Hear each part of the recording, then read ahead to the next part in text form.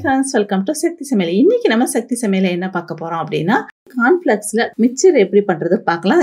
நம்ம அடுப்பில் வச்சு பொரிச்சு போடுறோம் பார்த்தீங்கன்னா அந்த டைம் தான் இது எடுக்கும்.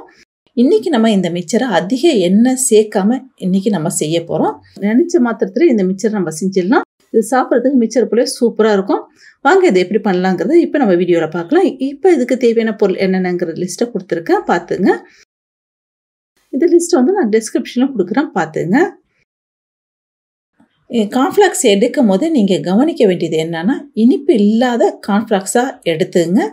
சம்டைம் இனிப்பு சேர்த்து விற்கிறாங்கங்கிறதுனால தான் நான் சொல்கிறேன் இனிப்போடு நம்ம காரம் சேர்த்தோம்னா நல்லா இருக்காதுங்கிறதுனால தான் நான் சொல்கிறேன் இப்போ நான் மிச்சம் செய்யறதுக்காக அடுப்பில் கடாய் போட்டிருக்கேன்.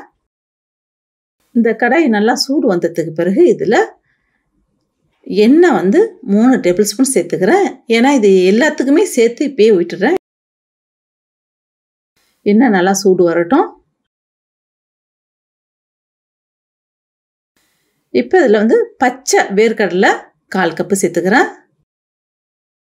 இப்போ இது கூடவே நம்ம வந்து பாதாம் பருப்பையும் சேர்த்துடலாம்.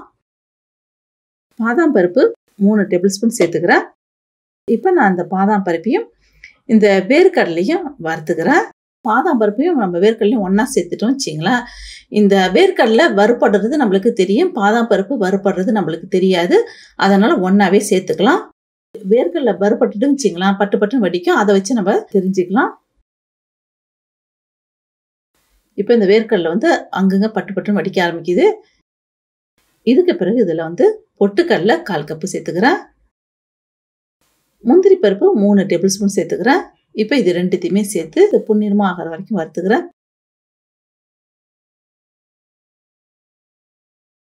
இப்போ பாருங்க முந்திரி பருப்போட கலர் வந்து செவக்க ஆரம்பிக்குது. இந்த ஸ்டேஜில் காஞ்ச திராட்சை மூணு டேபிள் ஸ்பூன் சேர்த்துக்கிறேன். திராட்சை சேர்த்ததுக்கு பிறகு இது ஒரு முப்பது செகண்டு வறுத்துக்கிறேன்.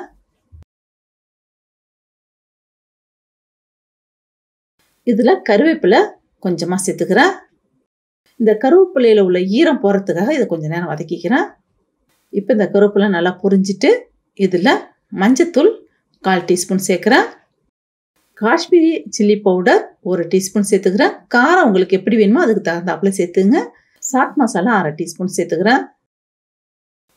இதுக்கு தேவையான உப்பை தூள் உப்பாக சேர்த்துக்கிறேன். போட்டிருக்க தூள் வந்து இந்த பருப்பில் நல்லா கோட்டிங் ஆகிற மாதிரி லேசான தீயில இந்த நல்லா கலந்துக்கிறேன்.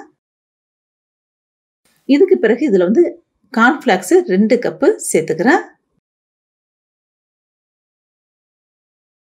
இதுக்கு பிறகு இதில் சேர்த்துருக்க பார்த்தீங்களா மிளகாய் தூள்?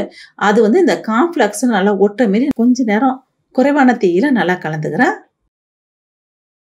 இதுக்கு நம்ம ஸ்பெண்ட் பண்ணுற டைமே இவ்வளோதான் இதில் நம்ம ரொம்ப ஸ்ட்ரெயின் பண்ணி எந்த இதுவுமே நம்ம செய்யலை நீங்கள் பார்த்துருப்பீங்க. இவ்வளோ ஈஸியாக செய்யக்கூடிய இந்த மிச்சரை ஒருத்தரை வச்சு நீங்கள் ட்ரை பண்ணி பாருங்கள் இந்த மிச்சர் வந்து சாப்பிட்றதுக்கு அவ்வளோ அட்டகாசமாக இருக்கும். இதை நான் சும்மாலாம் சொல்லலை. நான் செஞ்சு சாப்பிட்டதுனால தான் சொல்கிறேன் இந்த மிச்சரை டீ காஃபியோட ஈவினிங் ஸ்நாக்ஸாக சர்வ் பண்ணிங்கன்னா சூப்பராக இருக்கும். என்னுடைய வீடியோக்களை நீங்கள் தொடர்ந்து பார்க்கணும்னா சக்தி சமையலுக்கு சப்ஸ்கிரைப் பண்ணுங்கள் ஷேர் பண்ணுங்கள் லைக் பண்ணுங்கள் தேங்க்யூ.